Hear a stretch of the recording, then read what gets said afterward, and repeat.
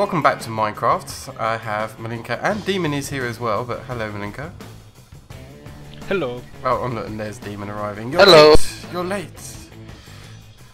It's the heavy armor he's wearing. It makes him a bit slower. I thought it was just his Yes, brain. it does. oh, that's mean. I know, I was You're allowed to hit him. Go right ahead, Daemon. High five. Um, anyway, so this episode um, we're going to set up some auto crafting solution with logistic pipes. Uh, at least me and Mallinka are. Um, Daemon is going to be pottering around, tidying up some of the mess that we made last episode. So that's good. Um, cool. So there's three, four things that we're making um, in this episode, and I think the first one that we'll make um, is our crafting solution. We'll save that other thing for last. Um, okay, so the first thing that we need to do any kind of crafting solution with logistics pipes is to do logistics crafting tables. And I'm just gonna, even though we've got like 30 of them here, I'm gonna start. Oh, you know what? I've got the recipe here. Just grab them all. Screw it. I'm gonna be greedy. um, and then the other part here is crafting logistics pipes. They're just stone gears, basic pipes, and redstone. So again, I'll just grab all 30. It's kind kind of cool. And this is something called a crafting sign creator with diamond chipset, two gold, and the sign here. It's completely um, not required as part of part of the build. It's just that I like them. That's the only reason. They're not required at all. It's so freaking useful. It has its uses, yeah, and we'll show you how they're useful at some point. But that's cool. Um, on me, I should note that I've got some gold transport pipes and some other basic logistic pipes, which are worth carrying around with you because you might need them later uh, when you're building the system. So let's head over to the palace, shall we, Mallinka? Yep. Let me pick up one little thing I just thought of. Already in the system? No. Never I'll tell you what I will pick up actually now that I'm here doing stuff. Um, is I'm going to request about four logs and um, about four iron, and that will come in later. What I'm going to be doing with those. Okay, let's jump for my love. Du- du. Uh, you know what? I think I messed Did you up. actually remember the portal You know what? time? uh, yeah, I did. Yeah, um, yeah. I kind of messed up because Mallinka, I'm a derp. Yeah. This needs to go back one. Oh balls. Uh, Geronimo! th- th- thanks. I'll leave that hole there if you want to bat shit through.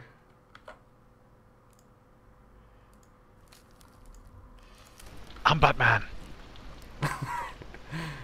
Okay. Just keep it tidy. Yeah, I was off by one, and I'll place that here. Okay, the reason is just because of the way I want this designed out, that's all. I'm being a fussy git with... uh, Honestly, we all are. With this particular season of- builds, we're being really fussy. It's it's cool, though. It's working. Um, Oh. You should see what happened downstairs. Fire, uh, well, he actually made a tunnel to connect up the this golden pipeline. And I'm just walking after him, cleaning up everything, uh, aligning the walls, stuff like that. We're all so fussy for this build.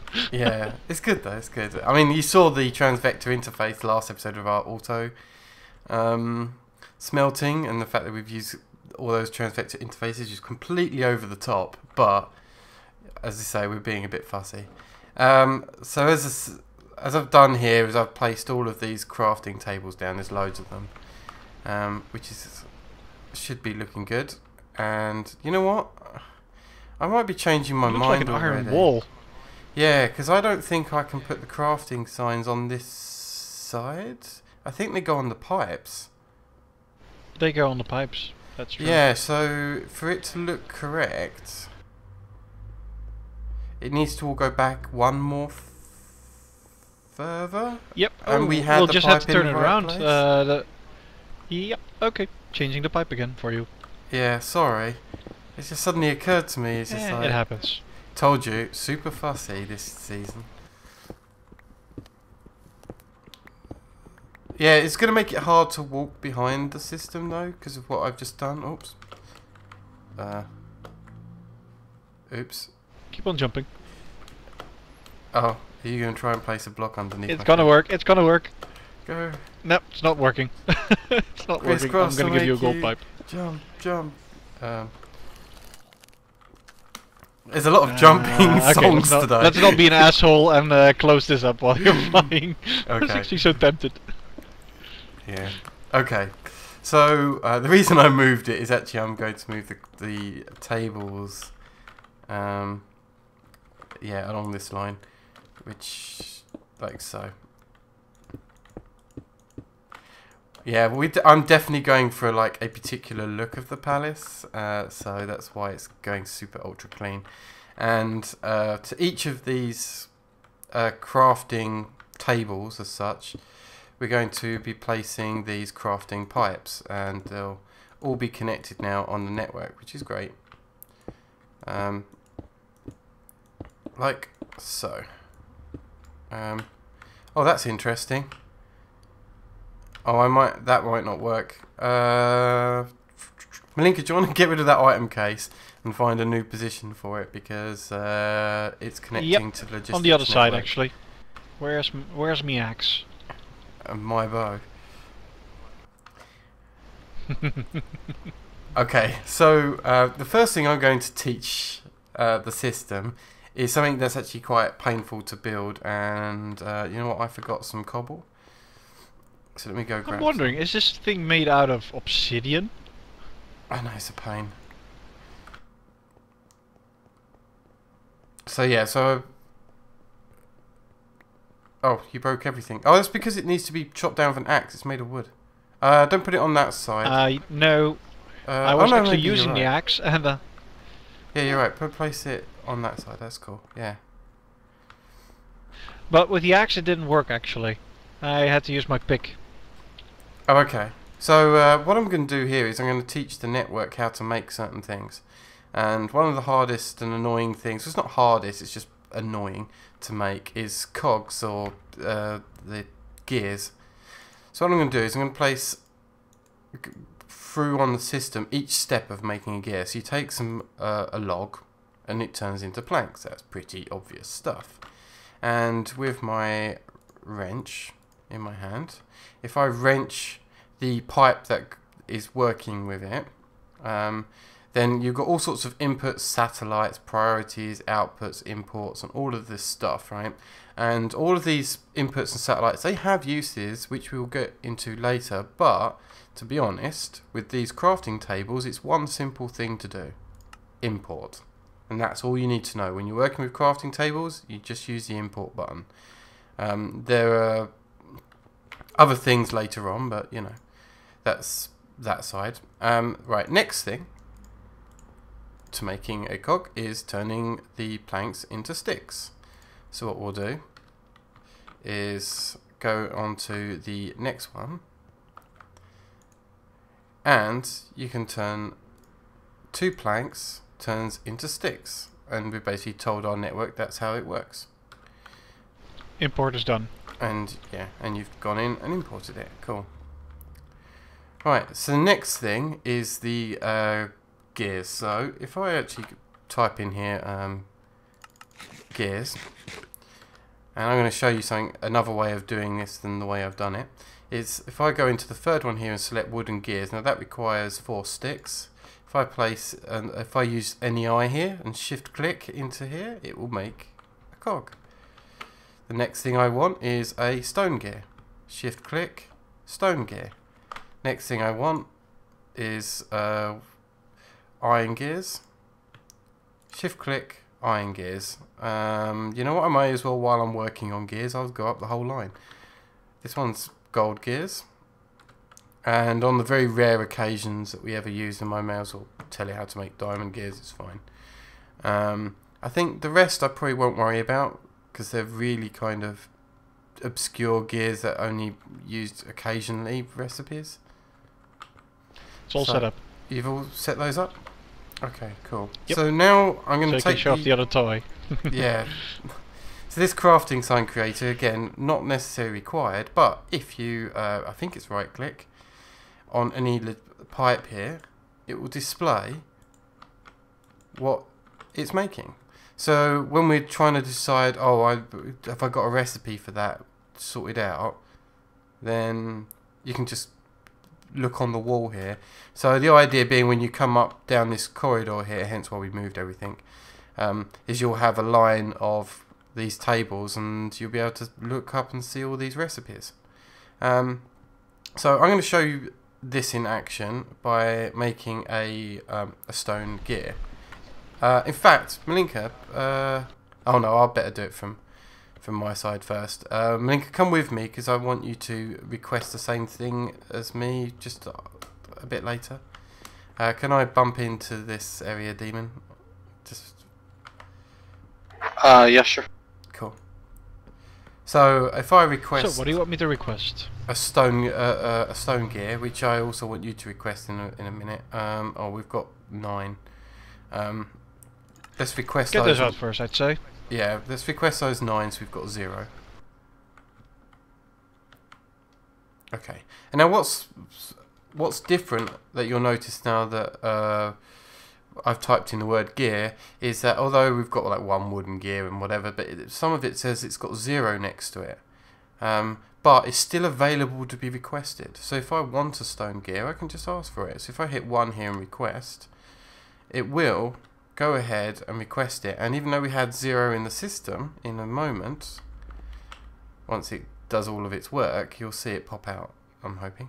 It takes a little while just because the way we've got it routed through, but I'm at, we're working on shortening the time on some of that stuff, just because it's got a, a distance to go across that room.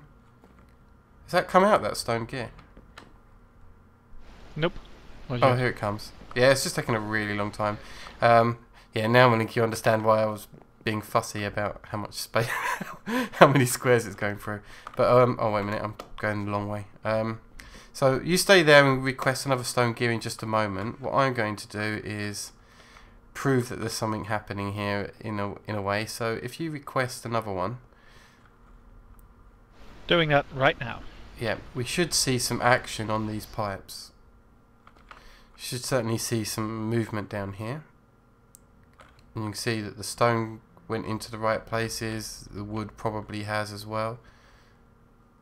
And uh, yeah, look, there goes the wooden gears. It's found from a chest actually, it just used the wooden gears supposed to making the sticks. Eventually got its way over here and it should be sending its way out. Ooh. Yep, got it. Yeah. So yeah, it's just basically grabbing everything. Now the reason why it's taking such a long time is the route that it goes through is quite ridiculous right now. Is um, especially as it picked up some stone gears.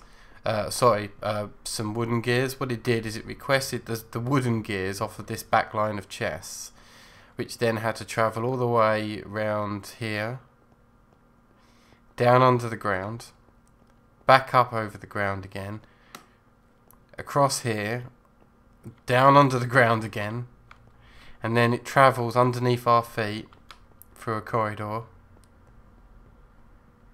and into this mesh here, and then back out again, annoyingly, all the way over here.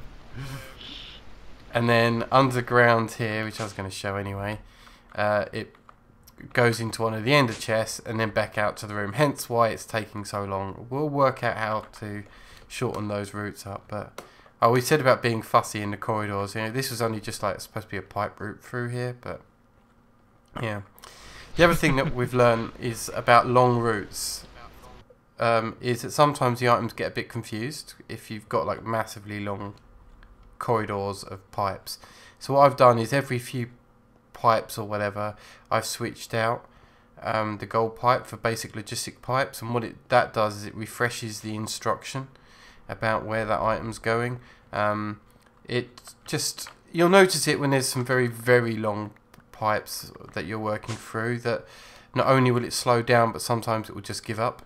So just to you know keep it moving, keep it working, the, just put some basic logistic pipes up along uh, a long route of wire and it should work. Every 16 or so blocks I recommend should be fine. Um, yeah.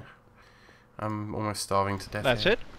That that's it for that half of, of the build. I know this is fairly quick and easy. We're going to be doing loads of stuff off camera to build out that so that we've got a lot more things. Like one of the first things that we'll do is we'll teach the crafting system how to make logistic pipes. We'll teach it how to make these crafting pipes, and we'll tell it how to make these crafting tables.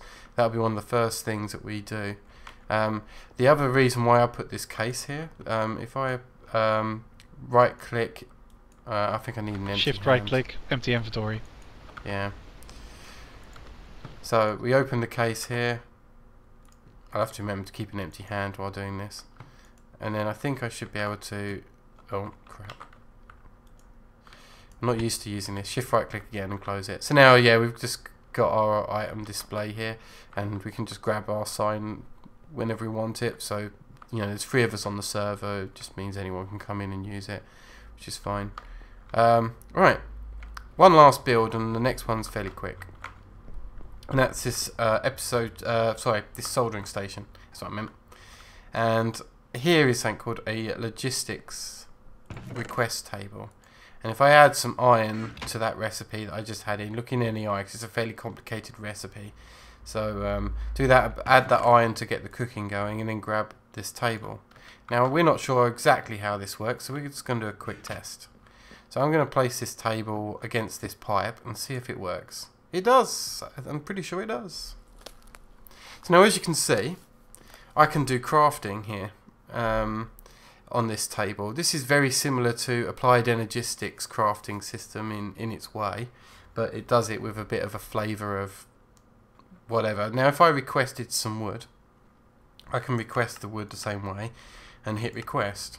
And when it comes down the request pipe, instead of it going onto the floor, what it does, it goes into the inventory of the table uh, out here. So that solves Mallinka's moan that he's been having, is requesting and we all stand there. But that that solves that.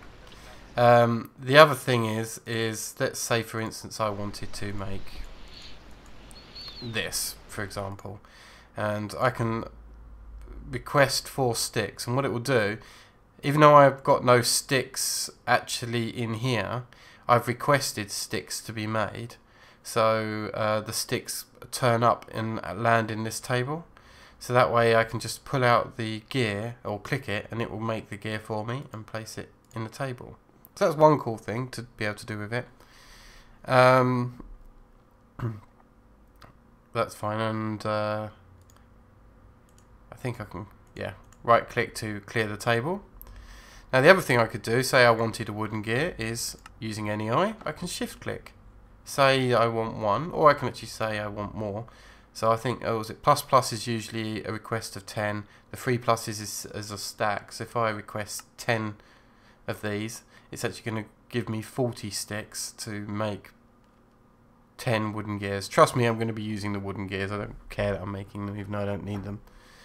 Um, and again, over here, if I wanted to, I can, oops, wrong one. Um, I can hit here and hit craft and this will tell me everything that the system is able to craft which I believe you've just taught the system how to make logistic pipes, redstone torches, diamond pipes and cobblestone transport pipes. That's what you're doing in the background is it?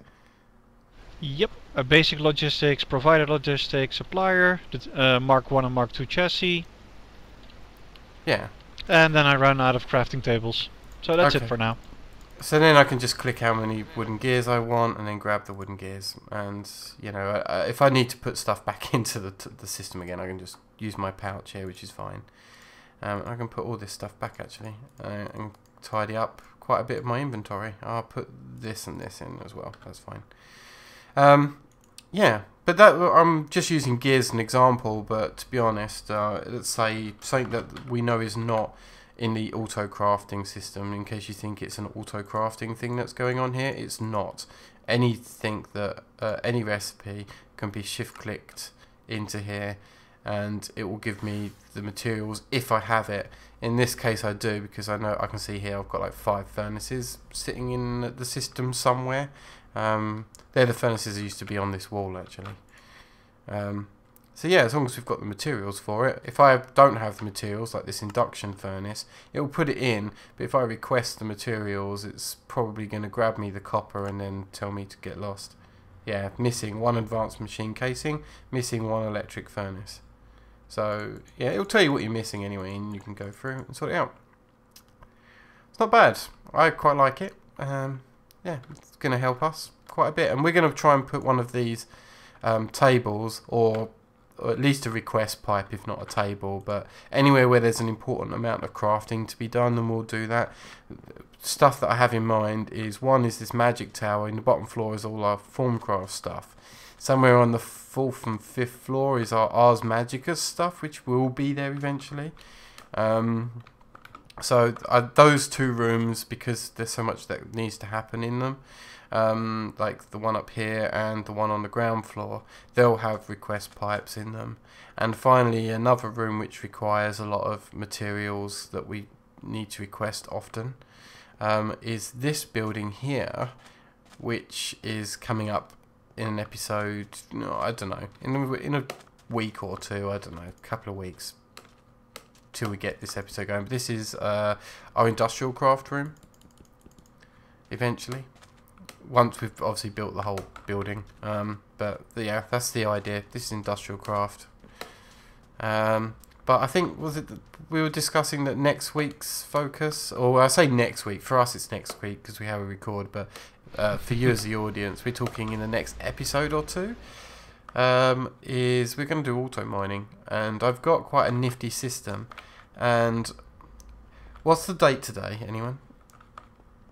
It's the 25th of January. Okay, so yeah, today as of the 25th of January, I have a build in mind. It is to do with um, a tunnel bore system. Now I hear on the rumour mill that Direwolf has got a buyer, uh, a bore that's being built that is pretty similar to what I've got in mind and um, but I only hear it on the grapevine, and he actually doesn't have it as of the 25th of January. He doesn't have it on his channel, and there's a chance we beat him to it. But for those that watch us and Direwolf, and I know there'll be a few of you out there, um, if they land at the same time, it's not because we copied him.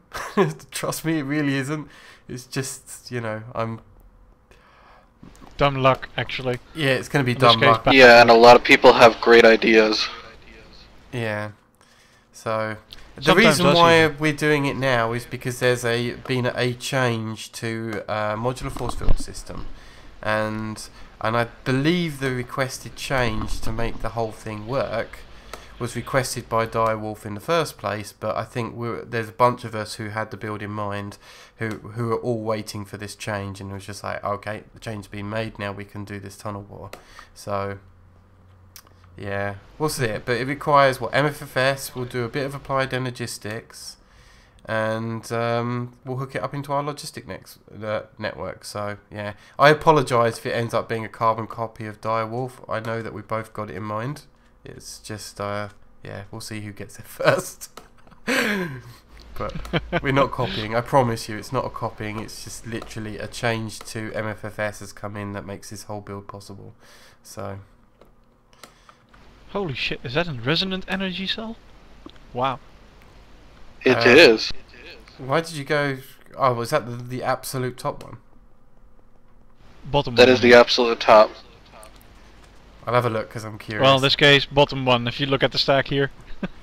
okay. True. Yeah, yeah, you've been busy kind of like upgrading our stuff, so instead of hardened energy cells. And uh, I'm going to be a really fussy bastard, as I was before. But um, I like to come into this room and see where the power is at by just looking around the corner. Right now, if I want to see what the power is at, I have to do one of two things. I have to click on each of these energy cells, or I have to come around the corner and then have a look. So, uh, just to save my craning my neck around a corner, I'm going to pick up all of these cells. Hopefully I picked them all up. Yeah, I did. I'm going to replace them back down again. They might need resetting up. I apologise if they do. But if I face this way, and I place all these energy cells down, then all of the displays will be facing me. And let's see if I get a jump on. There we go. That's better. And I'll change the configs on here as well, just in case. So that's right. That's correct. That's correct. And that's correct. And that's correct as well. Yeah, cool. Right, looks Looks like we're good. 38 million RF in supply. Yeah. How Let's much get the lasers still? burning. Is that a million? Five million. 50 mil. 50 million. No, the redstone energy cells. Is that 10 million on my screen there? That's 10. Yeah, redstone is 10 and resonant is 50 million. Okay, so that's like the equivalent of five of those. That's crazy. It's very expensive what you've just made there. Let's, I'll show on camera because we the recipe, I guess. Resonant energy cell.